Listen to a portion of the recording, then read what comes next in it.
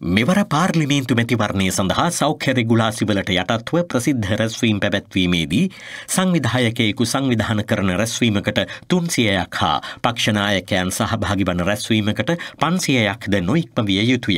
එසේම චන්ද විමැසීමේ දිනයට දින දෙකකට පෙර සියලු ප්‍රසිද්ධ රැස්වීම් අවසන් කළ යුතු වන අතර මැතිවරණයෙන් පසු දින හතක් දක්වා ප්‍රසිද්ධ රැස්වීම් පැවැත්වීම තහනම් වේ. දැනුම්බත් වන්න මැතිවරණ කොමිෂන් සභාව. මැතිවරණයකදී තරගවදින අපේක්ෂකයා තම වාහනයේ ගමන් ගන්නා අවස්ථාවක හැර අන් කිසිදු අවස්ථාවක පොදු හෝ පෞද්ගලික හෝ වාහනයක අපේක්ෂකයකුගේ හෝ පක්ෂයක හෝ කණ්ඩායමක හෝ ඡායාරූප සලකුණු දැන්වීම් ස්ටික ධජපතාක ප්‍රවර්ධන වැකි හා අංක ප්‍රදර්ශනය නීති විරෝධී වෙයි. දැනුම්බත් වන්න.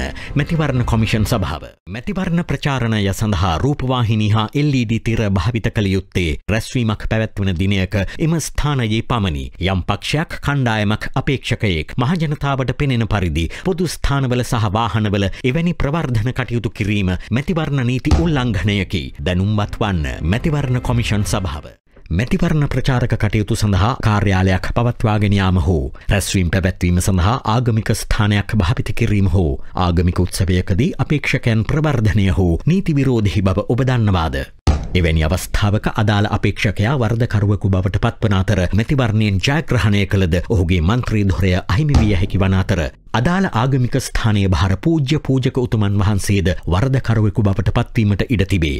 දැනුම්බත් වන්න මැතිවරණ කොමිෂන් සභාව. ඡන්ද විමැසීමකදී මැතිවරණ නීති උල්ලංඝනය සම්බන්ධව ඕනෑම පුද්ගලයකුට මැතිවරණ සමයේ සහ ප්‍රතිඵල නිකුත් කර සතියක කාලයක් දක්වා මැතිවරණ මහලේකම් කාර්යාලය වෙත හෝ දිස්ත්‍රික් මැතිවරණ කාර්යාලවල පිහිටුවා ඇති මැතිවරණ පැමිණිලි කළමනාකරණ මධ්‍යස්ථාන වෙත හෝ පැමිණිලි කළ හැකි. ඔබට සමීප වයිබ WhatsApp Facebook මාධ්‍ය පැමිණිලි සඳහා මේ වන විටත් විවෘත කර තිබේ. පැමිණිලි පෝරම මැතිවරණ කොමිෂන් සභා නිල වෙබ් අඩවියෙන් බාගත කරගන්න දැනුම්බත් වන්න මැතිවරණ කොමිෂන් සභාව.